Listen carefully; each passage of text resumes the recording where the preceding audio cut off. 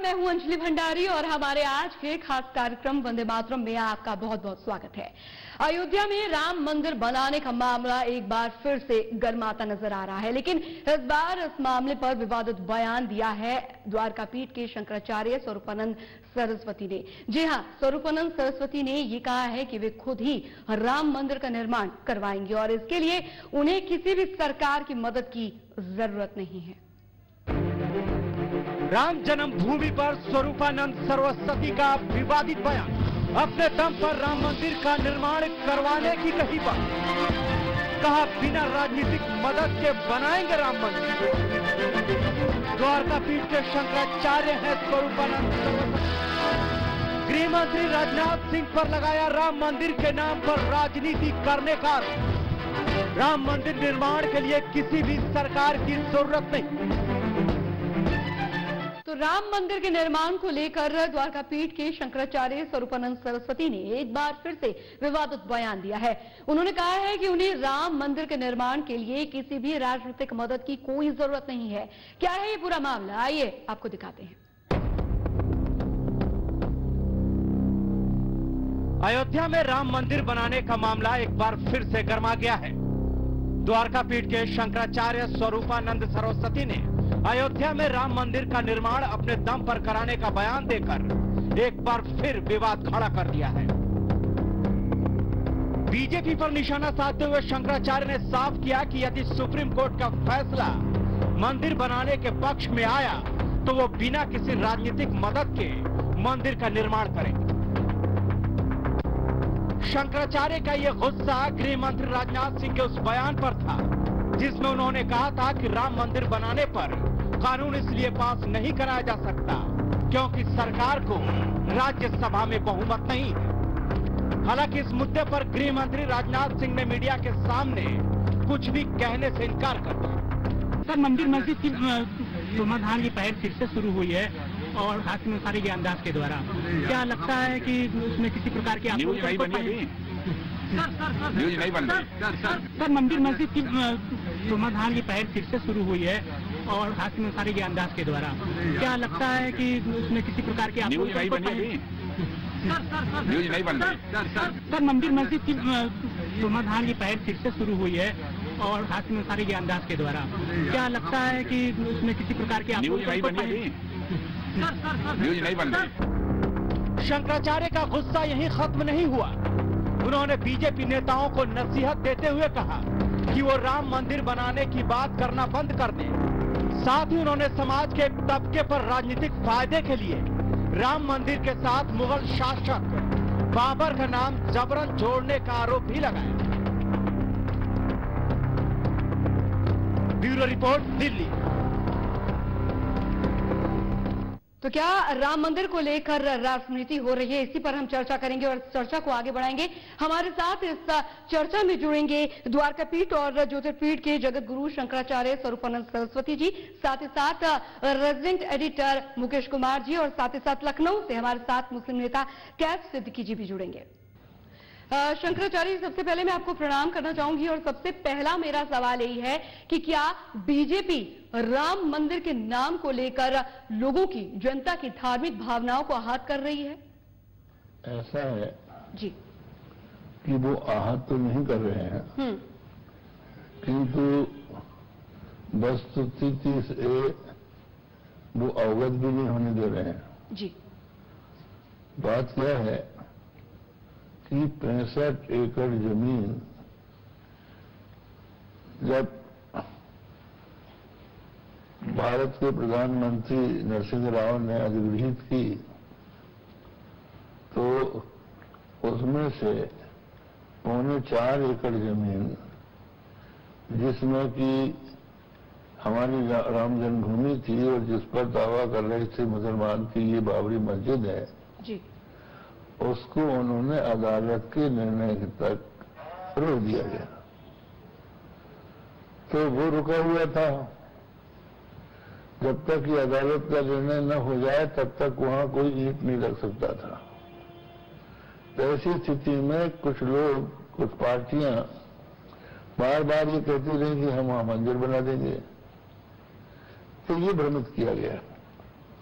जबकि ये अदालत में विचाराधीन था अब हाई कोर्ट ने एक निर्णय दे दिया पिछले साल। और ये निर्णय दिया है कि जिसको मुसलमान लोग बाबरी मस्जिद के रूप में दावा कर रहे थे उनकी अर्जी खारिज करके ये कह दिया कि ये राम जन्मभूमि है यहाँ से राम भगवान राम की मूर्ति नहीं हटेगी। लेकिन उन्होंने साथ साथ उनकी अर्जी खारिज करके भी एक टुकड़ा थोड़ा सा उसके बाजू में मुसलमानों को देने के लिए कह दिया। तो ये हम लोगों को अभी अभिस्थित नहीं है। जी।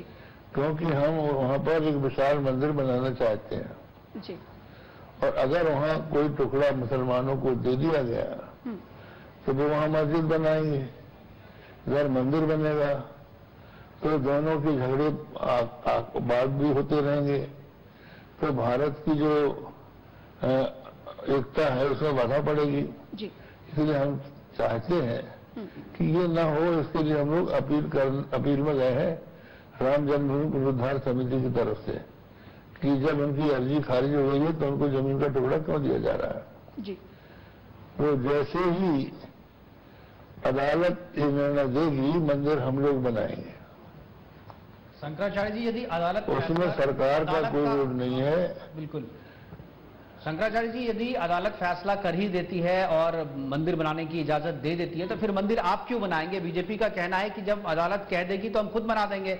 इसमें किसी शंकराचार्य साधु संत समाज को आगे आने की ज़रूरत नहीं सरकार आगे बढ़ के मंदिर बना देगी। उसमें हमारी बात दूसरी है। वो ये है कि जो आरएसएस और संघ- सरसंघ चालक हैं जिनकी बात सरकार मानती है उनका वक्तव्य हम लोगों ने पढ़ा है कि हम मंदिर बनाएँगे पर देवी देवताओं के रूप में नहीं आदर्श राम के रूप में बनाएँगे। इस पर हमें आपत्ति है क्योंकि राम को हम मनुष्य नहीं मानते। जी। आदर्श तो मानते हैं बिल्कुल। लेकिन परब्रह्म परमात्मा का अवतार मानते हैं। तो हम वहाँ पर उनकी आराध्य रूप में मूर्ति और मंदिर बनाना चाहेंगे। और अगर वो लोग बनाएँगे तो आदर्श राम के रूप में बनाएँगे तो उसमें और सरदार पटेल की मूर्ति में क्या अंतर रहेगा? जी। बिल्कुल। तो क्या आपको लगता है कि बीजेपी ऐसा करने देगी सनातन आपको? धर्म ये चाहता है बीजेपी करने देगी आपको सरकार है उनकी अगर उनकी इच्छा के खिलाफ आप दे, लेकिन हमारी मांग तो है। जी क्या अगर मोदी सरकार ऐसा है कि अभी तो कोई बात आई नहीं है। जी। बिल्कुल।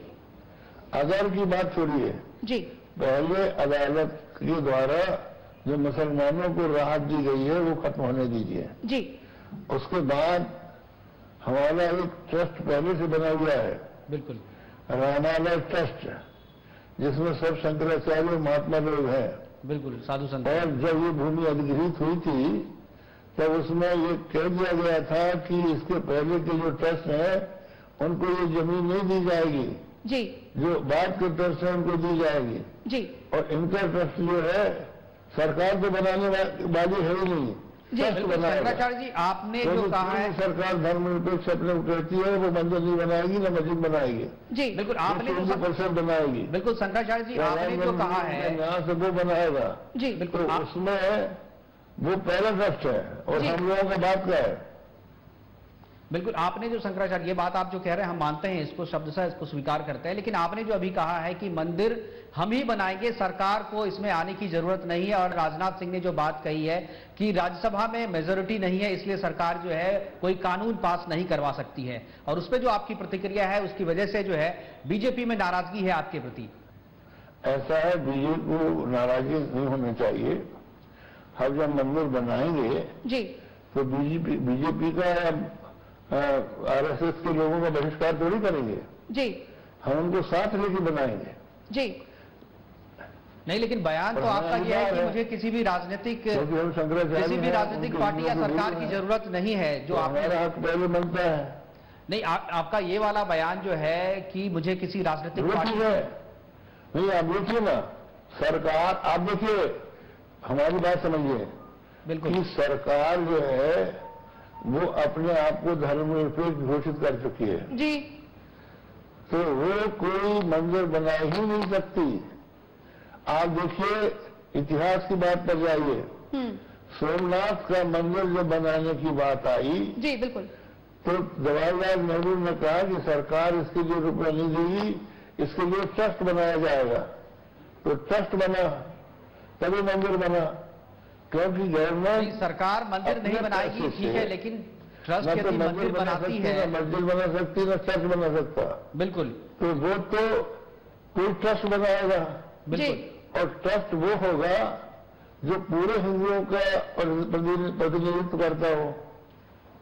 नहीं चूँकि शंकराचार्य जी चूँकि मामला अदालत में है तो जब अदालत जो निर्देश देगी अदालत जब फैसला करेगी उस फैसले के अनुरूप ही मंदिर बनेगा। अगर उस फैसले के खिलाफ या उसके थोड़ा भी आप इधर उधर जाते हैं तो सरकार आपत्ति उठा सकती है जैसा कि मेरे बीजेपी के नेताओं से कुछ बातचीत हुई है आपके इस बयान के बाद से उन्होंने कहा जो कोर्ट का फैसला जब आएगा उसी के हिसाब से जो है मंदिर का निर्माण किया जाएगा। बताइए बीजेपी के नेता हम्म। बीजेपी के नेता किस बात पर आपत्ति करेंगे हम कोई मस्जिद बनाने जा रहे हैं वहाँ?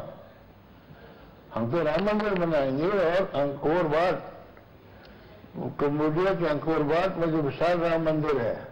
जी। जो चालुक्य नरेशों के द्वारा निर्मित है आर्य आर्य शैली का मंदिर है जी। उसके नमूने का मंदिर बनाएँगे। कौन उसका विरोध कोई करेगा?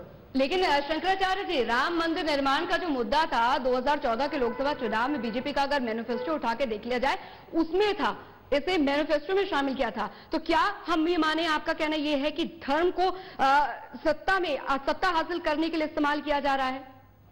अब ये तो आप समझिए नहीं मुझे लगता है शंकराचार्य जी जो विशेषज्ञ हैं अगर दो हज़ार 2000 जानते हैं। बिल्कुल।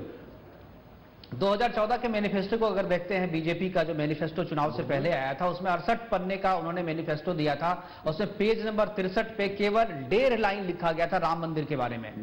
कि हम अपने पुराने वादे को दोहराते हैं और कोर्ट के फैसले के हिसाब से संवैधानिक रूप से जो है वो मंदिर हम बनाएँगे। बहुत ही बचते हुए चूँकि एनडीए के और भी दूसरे घटक दल थे उनसे नाराज़ ना हो उनको देखते हुए इन्होंने ये बात कहा था। और जिसपे आप लोगों ने आपत्ति भी की थी।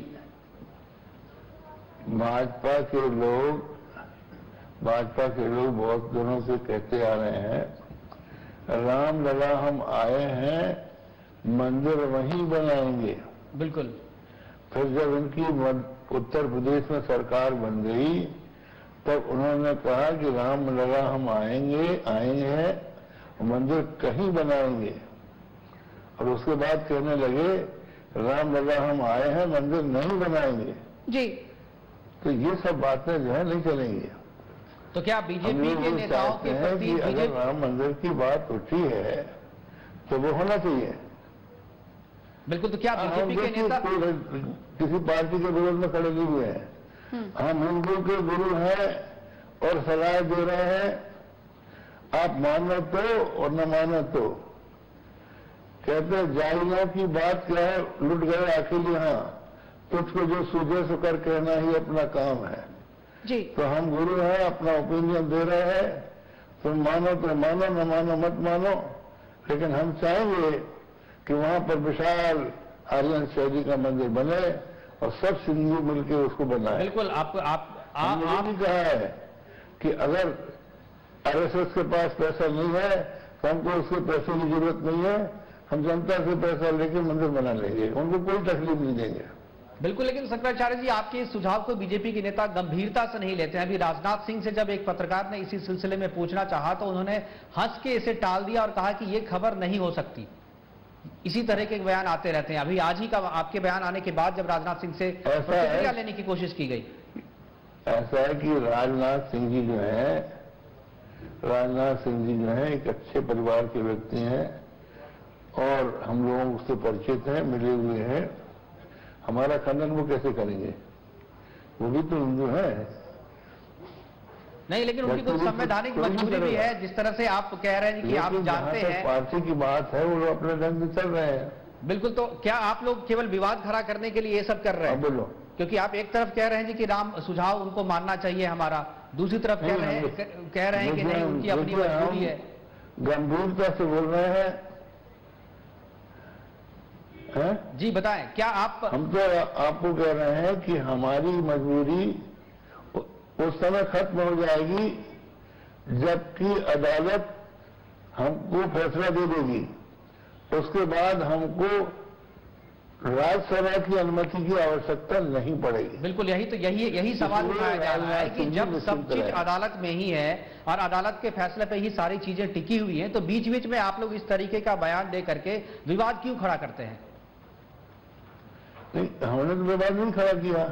नहीं आपने कहा कि तो सरकार नहीं बनाएगी तो मंदिर हम बनाएँगे।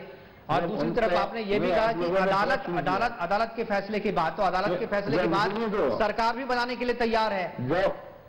राजनाथ सिंह जी का वक्तव्य बंधु बात सुन लीजिए राजनाथ सिंह जी का जब वक्तव्य आया और आप लोगों ने हमसे पूछा तो हमने वस्तु स्थिति स्पष्ट की। और इसका एक कारण और भी था बंधु। ओबीसी बराबर कह रहा था कि हमारी बाबरी मस्जिद शहीद हो गई। बिल्कुल। तो इसलिए भी हमको ये बात स्पष्ट करनी थी कि जब वो कहता है कि हम अदालत की बात स्वीकार करते हैं तो अदालत ने जब ये कह दिया कि वहाँ पर बाबर के आने और उसके बनाने का और उसके कहने से किसी के बनाने के कोई प्रमाण नहीं है तो वो बार बार क्यों कह रहा है कि बाबरी मस्जिद शहीद हो गई? नहीं फिर सुप्रीम कोर्ट ने रोक लगाया हुआ है ना? लोग भी क्यों कह रहे हैं कि बाबरी मस्जिद क्यों हुई नहीं लेकिन एक सवाल तो यहाँ पे हाँ? भी बिल्कुल शंकराचार्य जी ये बात तो ठीक है लेकिन सुप्रीम कोर्ट ने तो रोक लगा के रखा है ना उस इलाहाबाद कोर्ट के आदेश पे। अब सुप्रीम सुप्रीम कोर्ट से ही फैसला आना है। रोक लगाया दूसरी बात एक, हम आपको बता रहे हैं कि जब ये अदालत अदालत में जब तक ये विचाराधीन था बिल्कुल।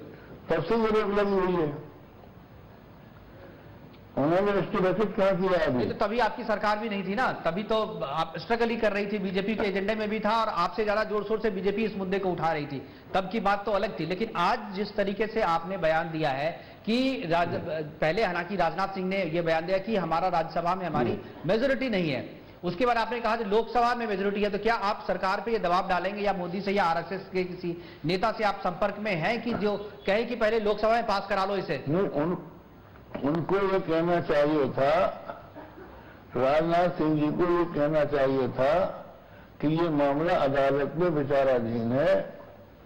उसके विचार जान लेने के पश्चात हम आपको बताएँगे। बिल्कुल मतलब राजनाथ सिंह जी ने गलत बयानी की। मतलब आप कहना चाह रहे हैं कि राजनाथ सिंह ने गलत बयानी की गृह मंत्री ये बात बात ऐसी है तो बिल्कुल आपका कहना यह है कि राजनाथ सिंह ने हिंदुओं की भावना को ध्यान में नहीं रखा। करना चाहिए थी। जी बताएँ। नहीं ऐसा है कि उन्होंने ये तो नहीं कहा कि राम मंदिर नहीं बनना चाहिए। नहीं उन्होंने ये नहीं कहा उनका खंडन भी नहीं कर सकते लेकिन ये तो बात जानना ज़रूरी है कि राम मंदिर कैसा बनना चाहिए कौन बनाए कैसा बने। बिल्कुल इस बात पे तो सबकी सहमति है शंकराचार्य जी की। अदालत जो फैसला करेगी अदालत के तो फैसले के बाद ही बिल्कुल। अदालत के फैसले के बाद ही मंदिर का निर्माण होगा लेकिन इस बीच में कोई अगर ये कहे अदालत ये फैसला नहीं करेगी मंदिर। तो कौन करेगा फैसला? आप करेंगे? अब हम तो आप देखिए ये बात आप भी जानते हैं हम भी जानते हैं कि आज अदालतों में दादा दावा दायर करता है और पोते को जय मिलता है। बिल्कुल। तो हम तो ये चाहेंगे कि भाई इतना राष्ट्रीय मसला है इसको गंभीरता से सुप्रीम कोर्ट हल कर दे उनके लिए साधन की क्या कमी है? नहीं तो गंभीरता से सुप्रीम कोर्ट कर ही लेकिन इस तो बीच में जो बयान आ रहे हैं आप आपसे एक चीज़ जानना चाहिए क्या बीजेपी के किसी नेताओं से हाँ जो। किसी बड़े नेता जो हैं उनसे आपकी बात हुई क्या मोदी जी से आपने बात करी है क्योंकि इस मामले में जल्दी से जल्दी कार्रवाई हो सके ताकि मंदिर निर्माण का काम जो है शुरू हो सके? ऐसा है कि अगर वो लोग हमारी मदद चाहेंगे सलाह चाहेंगे तो हम सबकी मदद करेंगे। हम तो गंगा के बारे में कह रहे हैं। अगर गंगा की सफ़ाई करते हो तो जो गंगा में प्रस्तावित बाँध है उनको खत्म करो। अगर तुम चाहते हो कि कश्मीर में अब पाकिस्तानी झंडा न लगे तो वहाँ की सत्तर दफ़ा खत्म करो।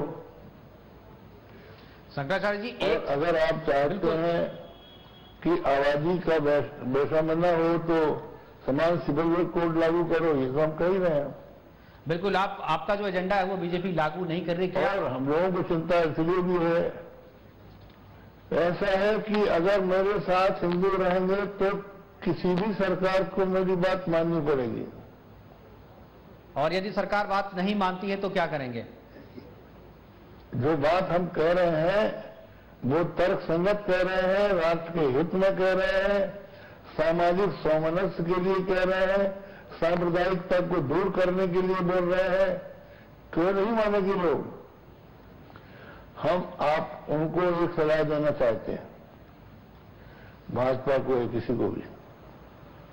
कि वो अगर हिंदुओं हितों की बात करते हैं तो सरकार की परवाह न करें। बिल्कुल वो हिंदुओं की बात करते हैं लेकिन वो आपकी सलाह को गंभीरता से नहीं लेते। आपके सुझाव भारत में शंकराचार्य जी आपके सुझाव को आम जनता तो गंभीरता से लेती है। कर देंगे एक कदम से तो पूरा भारत उनको बहुमत दे देगा फिर से। उनको एनडीए की ज़रूरत नहीं पड़ेगी। नहीं जनता ये जानना चाह रही है कि जनता तो आपके सुझाव को बहुत ही गंभीरता से लेती है। और उसके बाद उनकी सरकार खत्म होगी हम जानते हैं। तो फिर वो चुनाव जनता के बीच में चुनाव उनको उनको हिंदू बहुमत देगा। और उनकी वजह होगी। वो करेंगे हिम्मत सरकार से क्यों चुपते हुए हैं? अपने उद्देश्य के लिए काम करें। जी, आपकी बात जो है, हम उन तक भी पहुँचा रहे हैं। मेरे ख्याल से वो भी देख रहे होंगे तो वो भी इस बात को समझेंगे, आपके सुझाव को भी जानेंगे। लेकिन एक चीज़ यहाँ पे बार बार आ रहा है कि जो सत्ता के लोग जो सत्ता में बैठे हुए हैं उनसे जो हमारी तो बातचीत हो रही है हैं बिल्कुल। वो आपकी बात को गंभीरता से नहीं ले रहे हैं। शंकराचार्य जी पार्लियामेंट में नहीं माना गया। शंकराचार्य जी एक चीज़ पूछना चाहेंगे। गांधी ने लोकसभा बंद करा दी एक चुनाव में चली गई। उसकी वजह कि नहीं हुई। आप अपनी बात पर दे रहिए और आपके अंदर वो कुबियत आनी चाहिए कि आप जनता के बीच में जाए उसका मुकाबला करें। अगर सरकार बात आप आपकी नहीं मानती है जैसा कि अब तक है अब तक शंकराचार्य जी अब तक के सरकार के एक्शन से लग रहा है कि वो आपके सुझाव पे गंभीर नहीं है जिस तरीके से हंस के राजनाथ सिंह ने जवाब दिया। और बाकी के मंत्री और प्रवक्ता मौन है इस बात बात पे इस मुद्दे पे। बोलने को तैयार नहीं है। क्या आपको लगता है टकराव की स्थिति यदि आती है तो आप लोग उसके लिए भी तैयार हैं? देखिए हमको किसी से टकराव नहीं करना है। न किसी सरकार को लटना है न पलटना है। हम हिंदुओं के गुरु हैं उनके हित की बात कहेंगे कहते रहेंगे। ओपिनियन हम दे रहे हैं और रास्ता बता रहे हैं। और जितने नेता हैं और जितने राजनीतिज्ञ हैं ये समझ लें कि सबसे बड़ा राजनीतिक इंसान मैं हूँ। क्या राम मंदिर आप बनवाएँगे? क्या राम मंदिर आप बनवाएँगे? के लिए जुड़ गया हूँ। क्या राम मंदिर आप बताएँगे बनवाएँगे अयोध्या में? अयोध्या में राम मुझे बताया कि जनता को कैसे साथ में दिया जाता है। क्या जनता जनता की भावना से जुड़ा हुआ मुद्दा है राम मंदिर निर्माण का मुद्दा जो है और अदालत में अटका पड़ा है देरी से असंतोष बढ़ता है। कहते हैं, आपके दूसरे जो पूरी पीठ के शंकराचार्य हैं, उन्होंने भी कहा था कि अगर सरकार नहीं बनाती है तो हम लोग आगे आकर के साधु संत समाज जो है, वो आगे आकर के मंदिर का निर्माण खुद करेगा, अदालती फैसले का इंतज़ार नहीं करेंगे। क्या कहेंगे आप? नहीं, ये तो बात गलत है।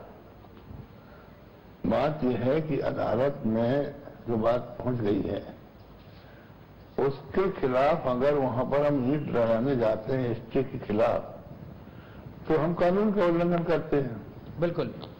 तो वो रास्ता हम लोग नहीं पकड़ रहे हैं। हम थोड़ी प्रतीक्षा कर लेंगे। और प्रतीक्षा करके जैसे ये मामला हल होगा हम राम मंदिर बनने के लिए काम करना शुरू कर देंगे। लेकिन जो देरी हो रही है जो देरी हो रही है उसके कारण जो असंतोष फैल रहा है और उसके कारण जो एक बीच बीच में आपके बयान भी आते हैं और उससे जनता भी उग्र होती है कभी कभी तो आपको क्या लगता है कि अदालत को आगे आकर के जल्दी से फैसला करना चाहिए या सरकार को इंटरफेयर करना चाहिए और पार्लियामेंट में कानून बना करके इसे लागू करना चाहिए ताकि राम मंदिर का निर्माण जल्द से जल्द हो सके? दो सुझाव। ऐसा है कि इसके लिए जो भी जवाबदार है वो लोग काम करें। जी। जनता के रुख को देखती है क्योंकि जनता की ही सरकार है। जी। आज सरकार नहीं है सरकार। जी। ये जनता सरकार है। जी। तो क्या जनता सड़क पे आए? जनता फिर से राम मंदिर के लिए सड़क पे आए। चाहिए। तो आ, क्या आप ये कहना चाह रहे हैं कि जनता सड़क पे आए फिर से सरकार पे दबाव बनाए जनता ने आपको भेजा इसलिए कि आप उसकी इच्छा पूरी करें। आप नहीं कर रहे हैं तो आप उत्तरदायित्व से भाग रहे हैं। लेकिन लेकिन शंकराचार्य जी लगातार बीजेपी हिंदुत्व का मुद्दा उठाती रही है चुनावों से पहले भी चुनावों के बाद भी। लेकिन राम मंदिर को लेकर जिस तरीके की अब बैकफुट पर आती जा रही है भारतीय जनता पार्टी क्या आपका कुछ कहना है? क्या कुर्सी और करंसी का ये खेल चल रहा है सब कुछ? हमारी पीड़ा यही है देवी जी। कि हम लोग जो हिंदुओं के हित की बात उठाते हैं उसको राजनीतिक लोग हाईजेक कर लेते हैं। और अपनी सत्ता सत्तारूढ़ होने का एक सीढ़ी उसको बना लेते हैं। जी। तो जब वो नहीं करते और फिर वो बात हम कहते हैं तो लोग कहते हैं कि तुम भी उन्हीं के साथ हो। उन्हीं जैसे धोखा दे रहे हो। जी। तो ये तो हमको दोनों तरफ़ से मार रहे हैं। तो क्या आपको लग रहा है सरकार जो है तो धोखा दे समझ में बोले नहीं चुनाव से पहले जो हैं तो उसको करके दिखाएँ। बिल्कुल चुनाव से पहले जो वादे और जिस तरीके का रुख था राम मंदिर को लेकर के, चुनाव के बाद बदल गया है धोखा दे रही है बंदी सरकार। के लिए आंदोलन चला। जी। क्या आपको लगता है कि सरकार धोखा दे रही है? बात सुनिए। हाँ बिल्कुल बताइए। बंदी का आंदोलन चला। ठीक है। दस लाख आदमी पार्लियामेंट के सामने इकट्ठे हुए। गोली चली। उसके बाद जनसभा में चुनाव लड़ा। दो आदमियों से अस्सी आदमी हो गए वो। लेकिन उन्होंने पाँच साल तक गुणवत्ता बंदी के संबंध में एक शब्द नहीं बोला। अब देखिए आप हमारी बात तो पहुंचाइए। जी। जनता तक। बिल्कुल बिल्कुल, हम पहुँचा रहे हैं। देना ही पड़ेगा शंकराचार्य जी शंकराचार्य जी आ, ये सवाल भी आपसे मेरा है कि क्या इस तरीके से ये राजनीतिक रोटियाँ सेकी जा रही हैं? क्योंकि कहा जा रहा है कि कोर्ट ने भी बात मानी है कि यहाँ पर बाबर कभी आया ही नहीं था और मंदिर के अवशेष मिले हैं। तो यानी कि कहीं ना कहीं एक राजनीतिक तौर पर देरी की जा रही है राम मंदिर को लेकर। सही बात है। और इसमें यह है कि जो राम के मामले में एकता थी देश में बिल्कुल। उसकी जगह साई को पैदा कर दिया जा रहा है उसके मंदिर बनवा रहे हैं जिससे कि हिंदू फिर विभाजित हो जाए। जी। ये सब साजिश है। जी लेकिन शंकराचार्य जी एक और बात यहाँ पर निकलकर सामने आ रही है बोला जा रहा मंदिरों में साई की मूर्ति रख रहे हैं। जी। शंकराचार्य जी आपसी सहमति से राम मंदिर बनेगा ये बात भी निकलकर सामने आ रही है क्योंकि वहाँ पर जी बिल्कुल वहाँ पर बताया जा रहा है कि जो हिंदू समाज है और जो मुस्लिम समाज है उनमें आपसी सहमति बनाई जाएगी ताकि इस काम को आगे बढ़ाया जाए राम मंदिर का निर्माण हो जाए। आपका क्या मानना है इस पर? ऐसा है कि हम मुसलमानों से क्यों बात करें। हम्म। जब उनकी अर्जी खारिज हो गई वहाँ बाबर कभी आया ही नहीं तो वो क्यों उनसे हम बात करेंगे जो कर रहे लेकिन हैं? जी लेकिन शंकराचार्य जी बाबरी मस्जिद के जो मुख्य पैरोकार है हाशिम अंसारी उन्होंने तो कह ही दिया है कि हम चाहते हैं कि राम लल्ला यहाँ पर आए राम का मंदिर यहाँ पर बने। उन्होंने तो कह ही दिया इस पर। नहीं वो कभी कुछ कहते हैं कभी कुछ कहते हैं। सुनिए? जी। वो कभी कुछ कहते हैं कभी कुछ कहते हैं लेकिन अब उनकी बात तो मानी नहीं गई।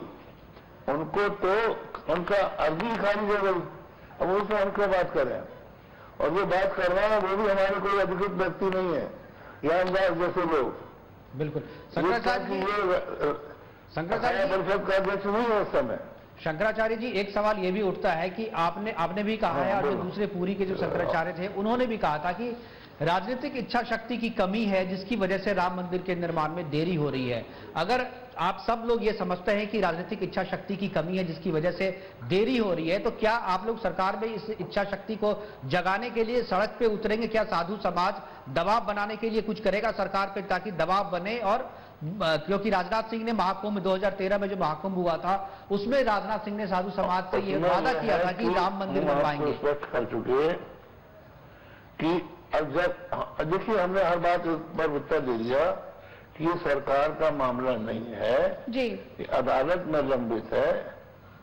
अगर उसके बाद भी सरकार हमारी बात नहीं मानेगी तो इच्छा शक्ति की कमी तो नहीं जाएगी। अभी तो इसका प्रश्न ही नहीं आया है। पहले ये निर्णय हो जाए कि जो टुकड़ा उनको दिया गया है वो रद्द किया जाए। नहीं जब ये अदालत में मामला है जब आप भी समझते हैं तो बयान ये बात तो आपके बयान के बाद से ही निकली है। शंकराचार्य जी ये बात तो आपके बयान के बाद से ही उठी है सबको पता है हाँ। मामला अदालत में है उसकी उसके फैसले के बाद ही मंदिर निर्माण के की दिशा में कुछ किया जा सकेगा सरकार भी जानती है जनता भी जानती है। लेकिन आपने बीच में ये जो बयान दिया उसके बाद से ही ये मामला फिर से उठ के आया तो आपने क्यों दिया ऐसा बयान? हमने क्या दिया? आप राजनाथ सिंह ने जो कहा कि राज्यसभा में बहुमत नहीं है उस पर प्रतिक्रिया दी थी आपने। जब ये कहा तब हमने कहा हमसे जब पूछा गया कि हमने कहा ये क्या बात बीच में कह रहे हो? ये तो आपकी राज्यसभा की बातें ही नहीं है। सरकार की बातें नहीं हुई है बिल्कुल शंकराचार्य क्या आपको लगता है साधु समाज और शंकराचार्य आप लोग आप सरकार के गृह मंत्री हैं। अरे सुनिए कानून की विधान की संविधान की बात समझिए। राजनाथ सिंह एक धर्मनिरपेक्ष सरकार के गृह मंत्री हैं। वो कभी राम मंदिर नहीं बना सकते। भाजपा की हैसियत से।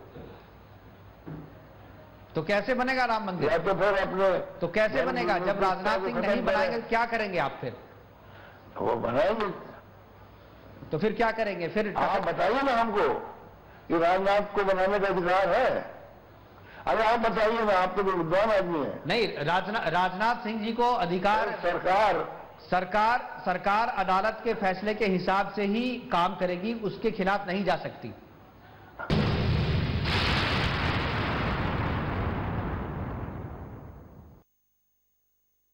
नहीं तो राज, राजनाथ सिंह ने तो कहा नहीं कि हम ब, बनाएँगे मंदिर। उन्होंने कहा जो कोर्ट का जो फैसला होगा वो मान्य होगा वही बात आप भी कर रहे हैं। लेकिन साथ में आप जोड़ रहे हैं कि अगर राजनाथ सिंह नहीं बनाएँगे तो हम बनाएँगे तो आप आपको अधिकार अगर अदालत का फैसला अदालत का नाम लिया कि नहीं लिया? कोर्ट नहीं आप देखिए बदल रहे आप। आप हमसे पूछ रहे थे राज्यसभा के संबंध में वो कह रहे थे बिल्कुल। कि राज्यसभा में हमारा बहुमत नहीं है इसलिए हम नहीं बना रहे हैं। तो राज्यसभा में उनका बहुमत हो भी जाए तो भी कोई बना सकते हैं। वो धर्मनिरपेक्ष सरकार के गृहमंत्री हैं। नहीं उसके बाद भी तो हैरान कीजिए हमको। बिल्कुल सरकार सरकार चाहे मेजोरिटी में हो चाहे माइनॉरिटी में हो रा, राज्यसभा में लेकिन मंदिर का निर्माण तो अदालत के फैसले के हिसाब से ही होगा। मानो सरकार नहीं करेगी। बिल्कुल। आप करेंगे? तो क्या करेंगे आप? अगर सरकार नहीं तब करेगी। उनका होगा जो जिनका मंदिर बनना है।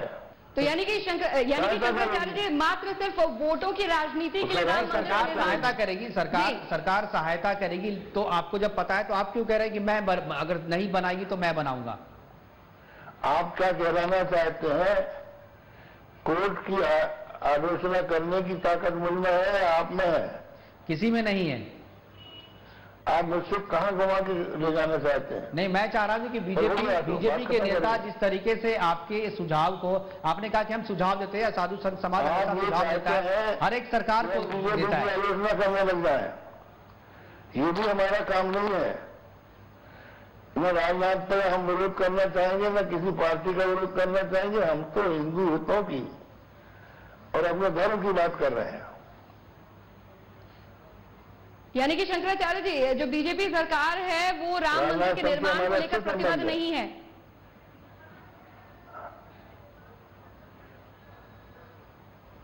ये तो हम बोल चुके पहले। राम लला हम आए हैं मंदिर नहीं बनाएँगे। फिर राम लला हम आएँगे मंदिर कहीं बनाएँगे। फिर कहने राम लला हम आएँगे मंदिर नहीं बनाएँगे। इस तरह की तीन तरह की बात हम लोग देख चुके हैं लोग। बिल्कुल। तो क्या ये अब जब जानते हैं कि बीजेपी अब इतनी बदल गई है, राम के नाम पर सत्ता में आई, फिर उसके बाद से ध्यान नहीं दे रही है मंदिर पे तो क्या फिर भी आप सपोर्ट करेंगे, आप क्या सुझाव भी देते रहेंगे, या इसके आगे भी कुछ होगा? क्या आप समाज को उद्वेलित करेंगे? साधु समाज से आप ये बात करेंगे कि अब विरोध करने का समय आ गया है क्योंकि अब सपोर्ट करके देख लिया गया, उनकी भाषा जब बदल रही है तो अपनी भाषा भी बदलनी चाहिए। नहीं उसमें यह देखिए, अभी हम नहीं करेंगे। अभी हम नहीं करेंगे, हम तो जब अदालत फैसला दे देगी कि अब हिंदुओं को ये ज़मीन दे दी गई। या इसमें अब और किसी का दखल नहीं है। फिर हम सरकार से बात करेंगे हमारे काम में अगर वो बाधा डालेगी तो हम सामने खड़े हो गए। लेकिन शंकराचार्य जी बीजेपी तो ने कोई बात नहीं हो रही ये जी। संभावना को लेकर लड़ाई नहीं लड़ी जाती। है लेकिन भावना को लेकर नहीं लड़ी जाती। ये तो जब सामने कोई बात आती है तब किया जाता है। बिल्कुल संभावना को लेकर के लड़ाई नहीं की जाती। सही सही सही बात कही। लेकिन जो बात यहाँ पे शंकराचार्य जी जो की जा रही है वो अदालत के बाहर तो कोई नहीं है। अदालत के फैसले के खिलाफ कोई नहीं जा रहा है। चाहे आप हो चाहे सरकार हो चाहे जो दूसरा पक्ष जो कि मुस्लिम पक्ष है जो है वो वो भी कह रहे हैं कि अदालत के फैसले का हमको फैसले का इंतज़ार करना चाहिए। लेकिन बीच बीच में जो राजनीतिक बयान आते हैं तो हमारी तकनीकी बात आपको बताते हैं। सुनिए हमारी बात सुनिए। हाँ बिल्कुल बताइए बताइए बिल्कुल। आ- आ- हम आपको एक बात बताना चाहेंगे कि जो तथ्य की बात होती है उसको ट्रायल कोर्ट तय करती है। तो ट्रायल कोर्ट ने यह तय कर दिया कि बाबर ने वहाँ मस्जिद नहीं बनाई। अब सुप्रीम कोर्ट उस पर उसको टच नहीं करेगी। बिल्कुल। वो तो ये कहेगी कि जो इनको ज़मीन दी गई है वो दी जाए कि न दी जाए। ये फैसला हमको कराना है। हम उनसे ये फैसला थोड़ी कराना है कि हमको राम जन्मभूमि तुम दोगे? वो तो हमारी हो चुकी शंकराचार्य जी हालाँकि लगातार बीजेपी कानून और संविधान की बात कह रही है उसकी दुहाई दे रही है। लेकिन अपने मैनिफेस्टो में लगातार ये बात उठाती रही है राम मंदिर के निर्माण से लेकर। लेकिन क्या जिस तरीके के अभी हालात बने हुए हैं क्या ये कहना सही होगा कि प्रतिबद्ध नहीं है बीजेपी राम मंदिर के निर्माण को लेकर?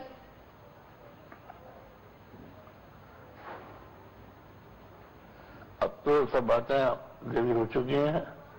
आप कोई और बात कीजिए। जी। क्या आपको नहीं लगता राजनीति हो रही है और राजनीतिक फ़ायदे के लिए ये जो देरी से जो फैसला जो देरी से हो रहा है या सरकार की तरफ़ से कोई पहल नहीं की जा रही है उसको लेकर क्योंकि जो तकनीकी बातें सामने आ रही है कि अभी तक ट्रांसलेशन नहीं हुआ जो रिकॉर्ड जो है उर्दू और पंजाबी भाषा में उस रिकॉर्ड का तो अभी तक ट्रांसलेशन नहीं हुआ है हम आपसे बोलना चाहेंगे ये जो बातें हम आपने हमारी कही बिल्कुल। अगर आप हमारी आपकी बातें हमारा आपका वार्तालाप जनता के बीच में जाएगा। बिल्कुल। और उसकी कोई प्रतिक्रिया आएगी तो हम फिर आपके सामने उपस्थित हो सकते हैं। बिल्कुल धन्यवाद। अगर आएगी तो हम फिर से आपसे संपर्क करेंगे। बिल्कुल। पहले ये बात तो पहुँचने दीजिए। बिल्कुल। बिल्कुल कर लीजिए। हम हमेशा तैयार हैं। जी बिल्कुल। शंकराचार्य जी हालाँकि लगातार तमाम जो हिंदू और मुस्लिम समुदाय हैं उनसे भी बातचीत की जा रही है लेकिन कोई हल नहीं निकल रहा। कहीं ना कहीं राजनीतिक तौर पर यहाँ पर देरी हो रही है इसे तो आप मानते ही हैं। ऐसा है जी। कि इसके पीछे कई कारण हैं। वो हम लोग अभी उस पर नहीं जाना चाहते। एक ही बात में हम लोग अपना ध्यान केंद्रित कर रहे हैं और इसी पर आपने हमसे पूछा है जी। तो उस संबंध में जितनी बातें हो चुकी हो सकती हैं और जितने प्रश्न हो सकते हैं आपने कर लिए जी। और जो हमको उत्तर देना था हमने दे दिया। जी। अब इसकी बात इसके बाद कोई नई बात अगर आती है जी। मुसलमानों की तरफ़ से आती है हम्म। हमारी किसी पार्टी की तरफ़ से आती है और ऐसी कोई बात है जो हमारी बात के विपरीत है तो आप हमसे फिर से पूछ लीजिए। जी एक सवाल ये भी आता है कि आप जो कह रहे हैं आपका भी राजनीतिक इस्तेमाल होता है और आप भी उसमें शामिल हो जाते हैं किसी किसी, किसी ना किसी तरीके से। दिग्विजय सिंह जो कि कांग्रेस के महासचिव है उसके काफ़ी करीबी माने जाते हैं। आप और आप जिस तरीके की बात कर रहे हैं दिग्विजय सिंह भी करीब करीब ऐसी ही बातें करते हैं। इसलिए ये भी आरोप बीजेपी के नेता लगाते हैं या दूसरे लोग लगाते हैं कि शंकराचार्य जी जो है वो थोड़ा पॉलिटिकल हो जाते हैं। हमारे शिष्यों में राजनाथ सिंह भी है सुनिए। हमारे शिष्यों में राजनाथ सिंह भी है और वो वहाँ के जो छत्तीसगढ़ के मुख्यमंत्री हैं। जी। रमन सिंह वो भी शिष्य हैं हमारे। और अभी हमारा कवर्धा में जो सम्मेलन हुआ था उसमें जो महात्मा आए थे उनको उन्होंने गेस्ट बनाया था मध्य प्रदेश का। हमारे तो सब सहयोगी हैं हमको क्या दिक्कत है? दिग्विजय सिंह भी आपके शिष्य हैं? तो हमारे सब शिष्य हैं। वो हमारी बात मानते हैं तो उसमें हमको क्या दिक्कत है? क्या क्या हम वो उनकी हर बात में हस्तक्षेप थोड़ी करेंगे कि वो शादी कैसे करें ब्याह कैसे करे वो राजनीति में किस पार्टी में भाग लें किसमें न लें किससे बात करें किसमें न करें ये गुरु का काम नहीं है। जितना हमारा काम है और जितनी हमारी सीमा है उसके बीच में काम करते हैं। और उनकी हर बात के हम जिम्मेदार थोड़ी हैं। कांग्रेस आपको क्या लगता है कांग्रेस अगर मिल जाए क्योंकि एक सुझाव यह भी आया था कि कांग्रेस प्रस्ताव रखे और बीजेपी उसका समर्थन करे और उस दोनों के समर्थन से जो है राम मंदिर का निर्माण हो। तो क्या आप इस सुझाव पे अगर सहमत है तो बीजेपी में जो आपके कांग्रेस में जो आपके शिष्य हैं उनको आप कन्विंस कर सुनिए कांग्रेस के जो प्रवक्ता है सुनिए। हाँ बिल्कुल। कांग्रेस के जो प्रवक्ता है मिस्टर चिदम्बरम हाँ। और कोई तिवारी है? उन्होंने अभी एक वक्तव्य दिया है कि जो महाराष्ट्र सरकार ने गोहत्या बंदी कानून बनाया है उससे मुसलमानों को जो गोमांस से सस्ता प्रोटीन मिलता था उसमें बाधा पड़ेगी। ये कांग्रेस के प्रवक्ताओं ने कहा जिसका मैंने विरोध किया है। बिल्कुल। क्या आप कहते हैं मुझे कांग्रेसी? जी। नहीं नहीं मैं ये नहीं कह रहा हूँ कि एक जो सुझाव पूरी के शंकराचार्य निश्चलानंद स्वामी जो हैं उनकी तरफ़ से जो आया आप- था। उनकी तरफ़ से आप देखिए जिससे बात कर रहे हैं वो कांग्रेसी नहीं है वो नहीं। शंकराचार्य है। नहीं शंकराचार्य जी मेरा ये सवाल सवाल मेरा ये है सुझाव आया देश के हित की बात कर रहा है। नहीं नहीं एक एक एक सुझाव आया उत्तर है कि नहीं आपका। जी क्या क्या अभी जो बात हुई है चिदम्बरम ने जो कहा है और तिवारी ने जो कहा उसका मैंने खंडन किया कि नहीं किया? नहीं किया किया उसका खंडन किया। लेकिन ये मैं आपसे ये पूछ रहा हूँ क्योंकि आपके जो शिष्य है वो दोनों पार्टियों में है। मतलब भारत के सभी पार्टियों में कोई ना कोई आपके सदस्य हैं जो कि प्रभावी पद पे है राजनीति में। मैं कह रहा हूँ क्या इसका इस्तेमाल इस तरीके से नहीं किया जा सकता है कि राम मंदिर के मुद्दे पे एक मत बनाया जाए कांग्रेस हो बीजेपी हो चाहे लेफ़्ट की पार्टियाँ हो सब कोई मिलकर के आकर आए और राम मंदिर का निर्माण करे अगर सब सबको तथ्य पता है पहले से तो।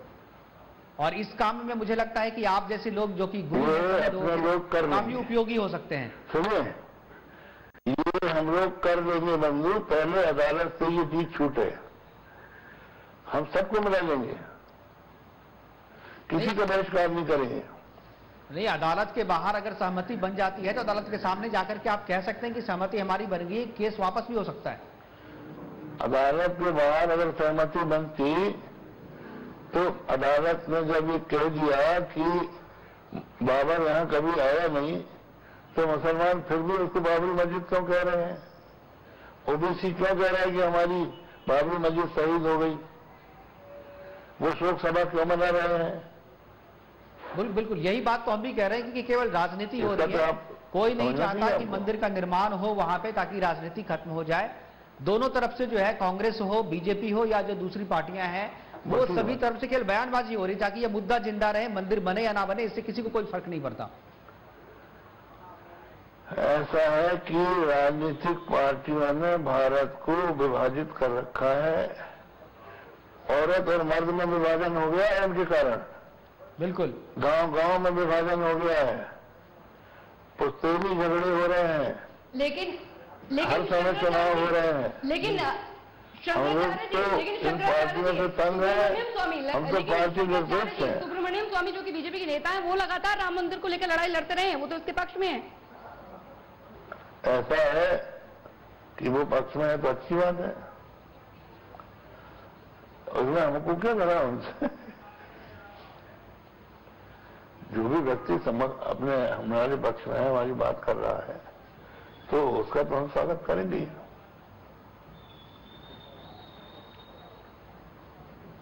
वो बीजेपी में है इसलिए कोई दुश्मन थोड़ी है। जी। लेकिन शंकराचार्य जी ये तो आप मानते होंगे आजकल तो कोई किसी पार्टी का नहीं है। जी। सब लोग जो है पार्टियों को पकड़ते हैं वो चांस लेने के लिए पकड़ते हैं। जी। आप सोचिए कई आदमी जो कल कांग्रेस था कांग्रेस बीजेपी में खड़ा हो गया बीजेपी वाले कांग्रेस में खड़ा हो गया। इनका कौन ठिकाना? जी। लेकिन शंकराचार्य जी ये तो आप मानते हैं ना कि चुनावों से पहले जो राम मंदिर टॉप लाइन बनी रहती थी राम मंदिर के निर्माण को लेकर जो चुनावी पार्टियाँ थी वो उसे टॉप लाइन में रखती थी। वही मैनिफेस्टो की अगर बात की जाए 2014 में तो वो फुटनोट पर आकर मात्र रह गई है और अब तो सिर्फ़ बातों ही बातों में आकर रह गई है। तो ये तो आप खुद ही कह रही है हम तो सहमत हैं इससे इसलिए हमको क्या कहना है? जो बात हमको हमसे कहना चाहती हैं वो आप खुद ही कह रही हैं। नहीं तो क्या आप मानते हैं कि राजनीतिक पार्टियाँ जो है वो गंभीर नहीं है? वो आप लोगों के सुझाव ठीक है, आप लोग देते तो हैं आप लोग देते तो हैं। लेकिन वो मानते नहीं है तो फिर आप लोग देते क्यों है? मतलब सवाल हमारा ये है कि आप लोग देते रहते हैं सुझाव वो मानते नहीं है फिर भी देते रहते हैं और तारीफ़ भी करते हैं आप ऐसा है कि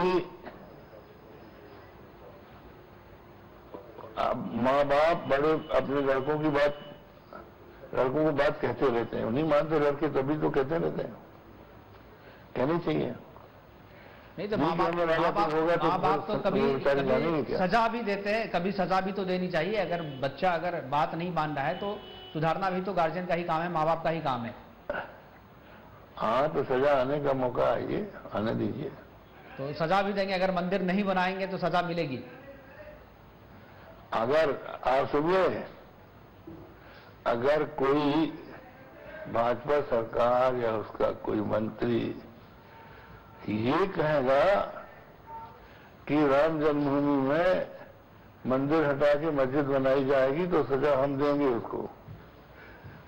नहीं ये बात तो कोई नहीं कहेगा ये बात तो कोई नहीं कहेगा लेकिन कर बात ये है कि इस पाँच साल के बताएँगे। भीतर इस पाँच साल के भीतर बीजेपी के इस पाँच साल के भीतर इसमें एक साल बीत चुका है।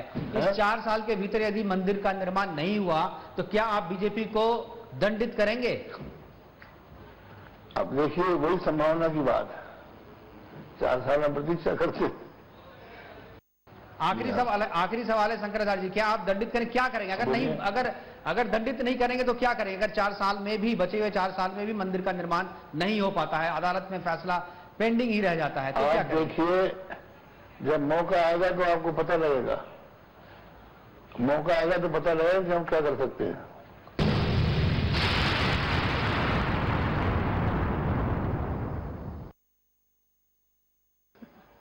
ठीक है नारायण। जी जी चलिए धन्यवाद धन्यवाद शंकराचार्य जी हमसे जुड़ने के लिए और हमसे बात करने के लिए और तमाम बातें जो अपनी बातें आज शंकराचार्य जी ने बताई राम मंदिर के निर्माण के संबंध में उन्होंने अपनी शिकायतें भी बताई और शिकायत के समाधान के बारे में भी बात करी। अंजलि मुझे लगता है कि काफ़ी डिटेल से उन्होंने बात करी आज इसके बारे में।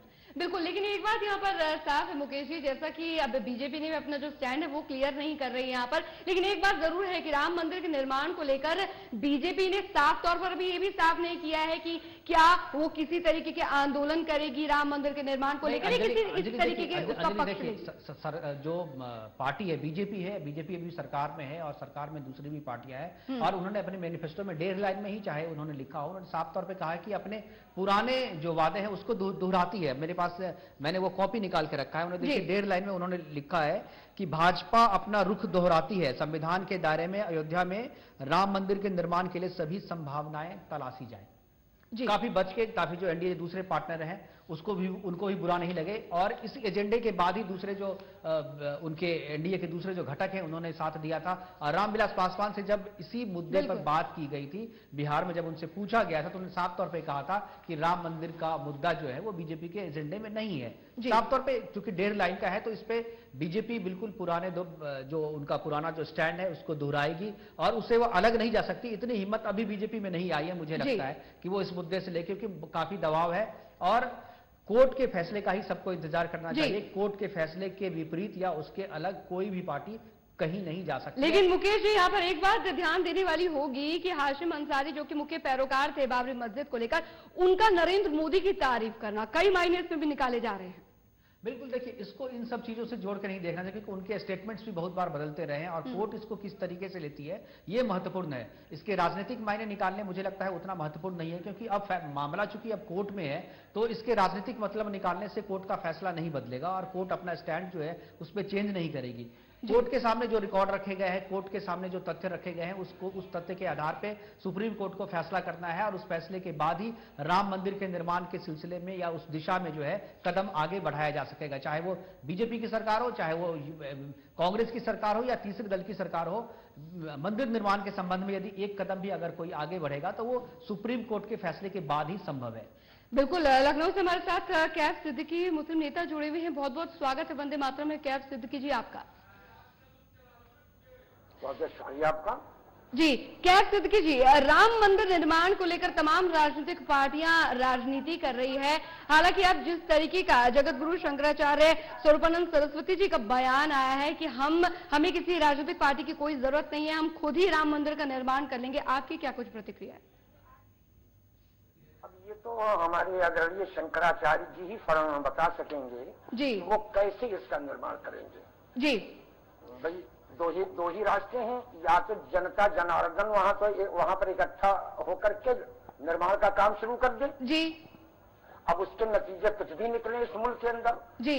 और या तो या तो सत्ता सत्ता के शीर्ष पे जो लोग बैठे हुए हैं उनकी मदद से मंदिर का निर्माण किया जाए। जी। अब शंकराचार्य हजरात हमारे सभी हमारे आदरणीय हैं। जी। अ, मैं बड़ी श्रद्धा के साथ उनका नाम उन सबका नाम लेता हूँ। जी। लेकिन इन लोगों के आए दिन बदलते हुए बयानात बड़े भ्रामक होते हैं।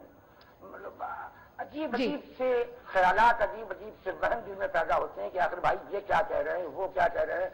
कभी कुंभ में हरिद्वार में जमा होकर के कुछ कहा जाता है। कभी प्रयाग के तट पे जमा होकर के कुछ लेकिन जाता है लेकिन सिद्दकी कभी- जी जी लेकिन सिद्दकी जी यहाँ पर एक और बात निकलकर सामने आ रही है। कहा जा रहा है कि आम सहमति बनाई जाएगी। आम सहमति का परिपक्ष अगर ये भी देखा जाए कि जो हिंदू मुस्लिम समुदाय है उनसे बातचीत की जाएगी उनकी सहमति बनाई जाएगी। यहाँ पर लेकिन तस्वीर तो उल्टी है। यहाँ पर राजनीतिक पार्टियों की आम सहमति नहीं बन पा रही है।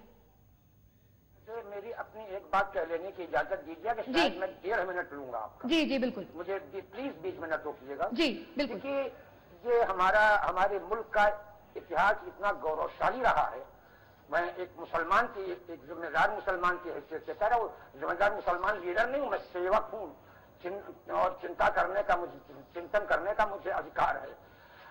गंगा जमुना जी। नर्मदा कावेरी तुंगभद्रा कृष्णा ये वो नदियाँ हैं जिन्होंने समय समय पर राह चलते हुए मुस्लिम मुसाफिरों को वज़ू करने के लिए अपने मुकद्दस पानी उपलब्ध कराए जी। ये वो धरती है जहाँ पर हमारा विश्वास है कि इस इस दुनिया के सबसे पहले मनुष्य हज़रत आदम जो प्रथम मनुष्य हिंदुस्तान में ही उतारे गए। हमारी धारणा है कि इसी अयोध्या में उनके बेटे हज़रत शीस सलाम दफन है और मेरे पास रिकॉर्ड मौजूद है जिसको मैं मुनासिब नहीं समझता कि मैं ज़्यादा बहस में जाऊँ।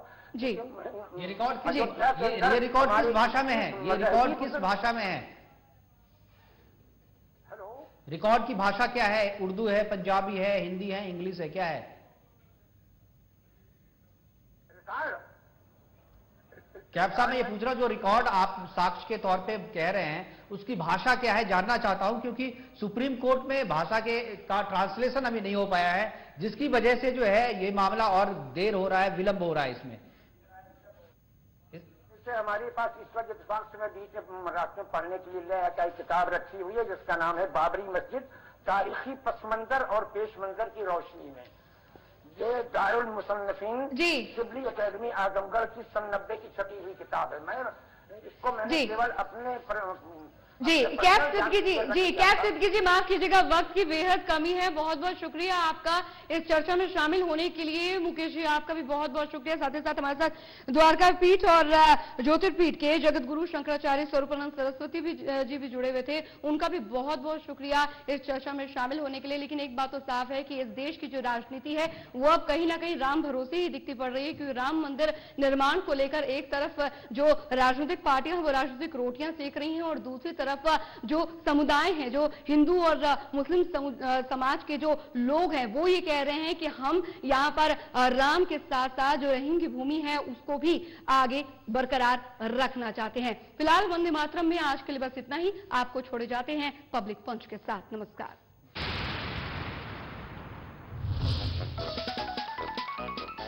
सोते हुए अभिषेक के बालों में हाथ फेरती हुई सोच में डूबी ऐश्वर्या ने खुद को समझाया।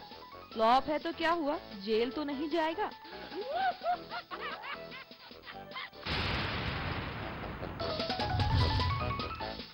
आलिया भट्ट और वरुण धवन सड़क पर चल रहे थे। उन्हें रास्ते में एक हज़ार रूपए का नोट गिरा नज़र आया। आलिया, अब हम क्या करेंगे? वरुण डोंट वरी हम 50-50 कर लेंगे। आलिया, और बाकी के 900 का क्या करेंगे?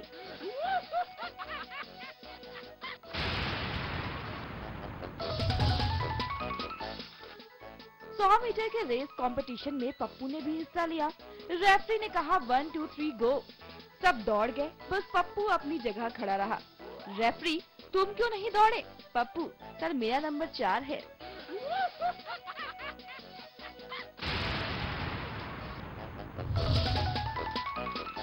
एक गधा Guinness book of world record के ऑफ़िस पहुँचा, ताकि पता कर सके कि आज भी वो विश्व का सबसे अधिक मूर्ख जानवर रहा कि नहीं।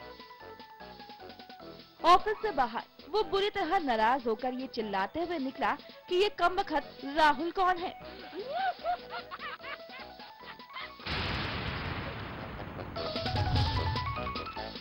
सलमान, जज से, सर प्लीज़ मुझे कम से कम सजा दे। जज, ओके, फिर जेल या शादी?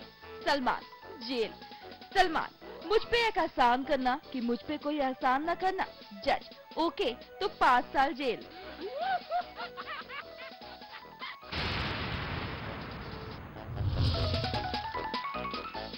और आखिरी में, कौन कहता है कि देश में फास्ट ट्रैक कोर्ट नहीं है? लालू केस सत्रह साल बेल तीन महीने में, अम्मा अठारह साल बेल पंद्रह दिनों में, सलमान तेरह साल बेल तीन घंटे में।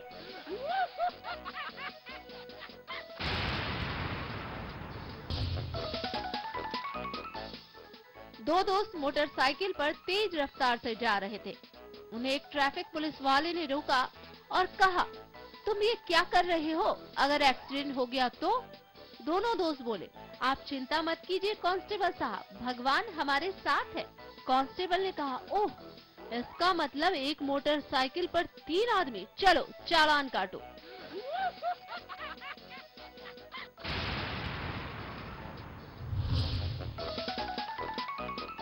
घोंचूलाल अपनी पत्नी को अंग्रेज़ी का प्रशिक्षण दे रहे थे। दोपहर में उनकी पत्नी ने कहा, ये लो डिनर घोंचूलाल बोला, पागल, ये डिनर नहीं लंच है.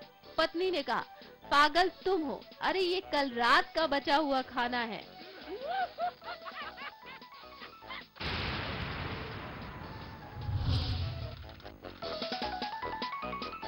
पति पत्नी से कहता है, मैंने आज शाम को एक दोस्त को खाने पर बुलाया है। आधे घंटे में आता ही होगा। पत्नी गुस्सा कर बोली, क्या बात कर रहे हो? सुबह काम वाली नहीं आई तो घर भी साफ़ नहीं हो सका। खाने में परसों का बैगन का भरता और तंदूर की रोटियाँ हैं और आधे घंटे में कुछ नहीं हो सकता है। पति ने कहा हाँ हाँ जानता हूँ, बेवकूफ़ वो है जो शादी करने पर आमादा है। मैं चाहता हूँ कि वो खुद आकर देख ले कि शादी के बाद आखिर क्या होता है।